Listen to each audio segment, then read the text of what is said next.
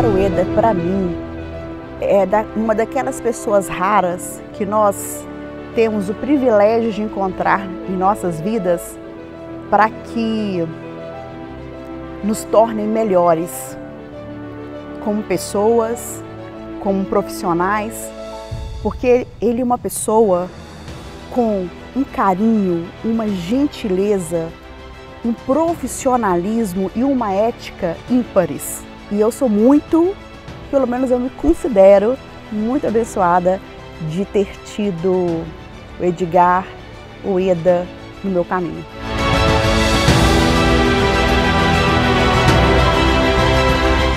Sem, sem comentários, esse cara é o cara já quebrou seis vezes. Mas não importa o número de vezes que você quebra, o importante é o número de vezes que você levanta. É uma vez a mais, uma única vez a mais, esse cara fez diferença no Brasil e, consequentemente, vai fazer diferença no mundo.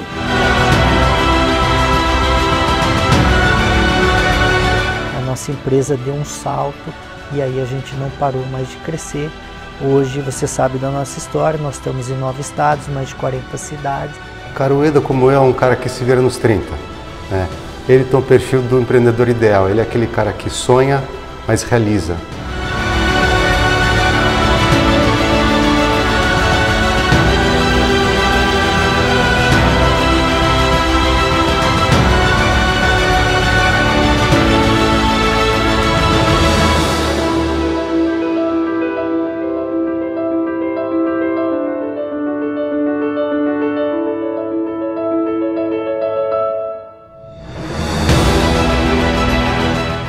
Entendo que o Edgar é um indivíduo que tem um campo de visão ampliado e que a partir da hora que você se, se soma a ele, você consegue ter um aumento também da sua amplitude de visão.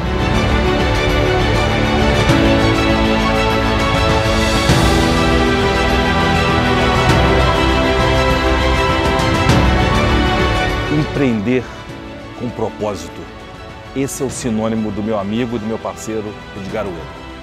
Por essa razão, eu aceitei esse convite, assinar o prefácio desse livro, que é uma história maravilhosa para inspirar você a aprender.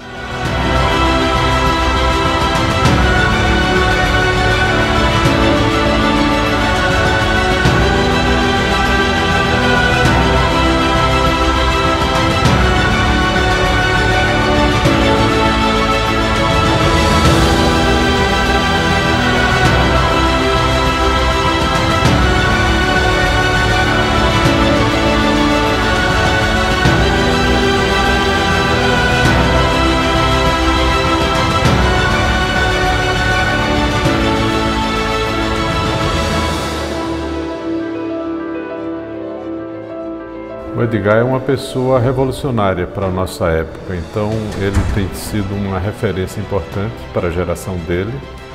E claro, a percepção que ele passa é que é uma pessoa confiante e gera confiança e confiabilidade. E é isso que nós estamos buscando em alguém que possa ser nosso monitor. O empreendedor em pessoas, o empreendedor preparado para empreender em pessoas. Eu chamo de empreendedor de gente, empreendedor da vida. Um cara preocupado com a evolução humana. Para isso você precisa cuidar de pessoas. Edgar Ueda.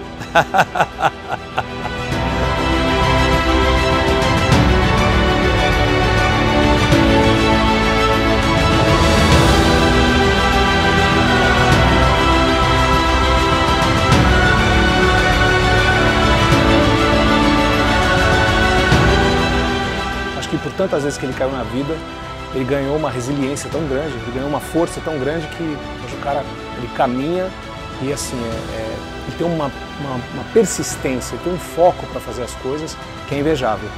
Tanto que é uma pessoa que só de se aproximar eu cada dia aprendo mais. Né? E é interessante porque ele tem uma, coisa que é muito, muito importante, ele é humilde, ele realmente é humilde, não é o cara que se faz de humilde, não é a pessoa que faz de conta que é boazinha.